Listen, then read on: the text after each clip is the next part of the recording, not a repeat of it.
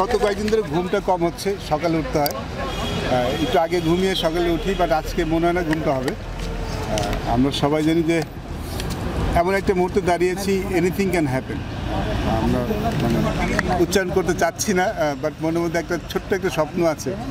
দেখা যাক কী হয় but so far so good যদি আমি যে শুধু আহ, নির্বাচকত্ব একজন বাংলাদেশের একজন এক্স প্লেয়ার হিসেবে যদি জিজ্ঞেস করেন আমার মনে হয় যে খুব এক্সাইটিং একটা ডে আমার জন্য।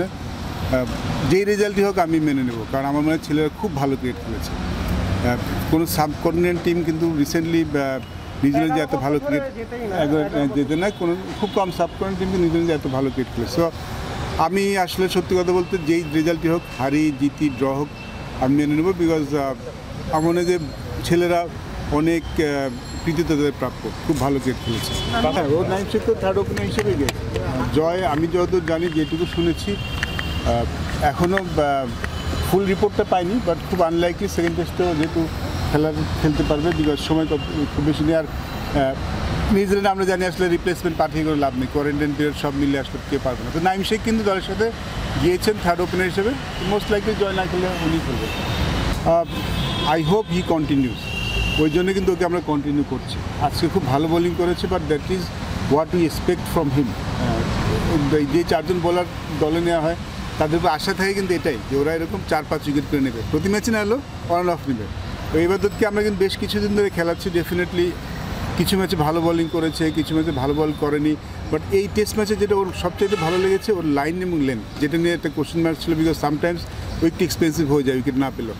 বাট এই টেস্ট ম্যাচে কিন্তু খুব ভালো বোলিং করেছে, জায়গা মতো বল করেছে সুইং করাচ্ছে।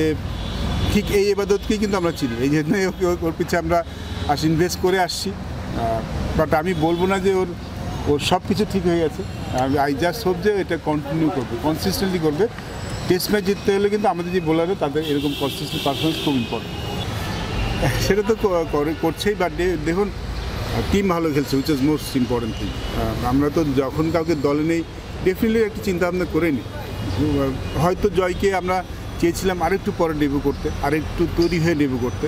বাট পরিস্থিতি আমাদের বাধ্য করেছে আসলে ওকে একটু আগে নামিয়ে আসতে। আসলে কোভিডের দু বছর না হলে জয় আরও হয়তো আরও বেশি প্রিপেয়ার থাকতো। কারণ ওরা এইচপিতে আসার পরে দু বছর কিছু করার সুযোগ পায়নি।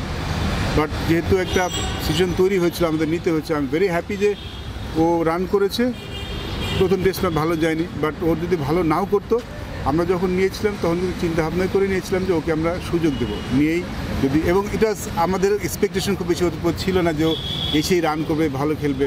তো আমরা যখন নিয়েছিলাম, আমাদের চিন্তা ভাবনা কিন্তু ছিল যে ওকে আমরা একটু সুযোগ দেবো যখন নিয়েছি। সেকেন্ড টেস্টে রান করে ফেলেছে in New Zealand which is very good definitely okay অনেক কনফিডেন্স দেবে। একটু ইঞ্জুরি আছে, হয়তো সেকেন্ড টেস্ট একটু আনসার্টেন হয়ে গেছে। বাট ওকে দেখে মনে হচ্ছে যে ওপেনিংয়ে একটা হয়তো আমরা একটা জবাব খুঁজে পেয়েছি, হয়তো যেটা আমাদের দরকার ছিল। বাংলাদেশের যে কোনো ম্যাচ যেতে খুব ইম্পর্টেন্ট সেটা ওডিআই জিতি টি টোয়েন্টি জিতি। বাট একটা টেস্ট ম্যাচ জয় কিন্তু আপনাকে ছয় মাস এগিয়ে দেবে। আমরা যখন অস্ট্রেলিয়া এবং ইংল্যান্ডকে হারিয়েছিলাম টেস্ট ম্যাচে ইফ ইউ ক্যান রিমেম্বার ওই জয়টা কিন্তু বাংলাদেশ ক্রিকেটটাকে অনেক উপরে নিয়ে গিয়েছিল, শুধু বাংলাদেশ না, সব জায়গাতে। সো টেস্ট ম্যাচ জেতাটার মহার্থটা একটু ডিফারেন্ট এই একটা টেস্ট ম্যাচ জিতলে কিন্তু আপনি মানসিকভাবে অনেকখানি অনেকখানি এগিয়ে যাবেন, দল হিসেবে অনেকখানি এগিয়ে যাবেন।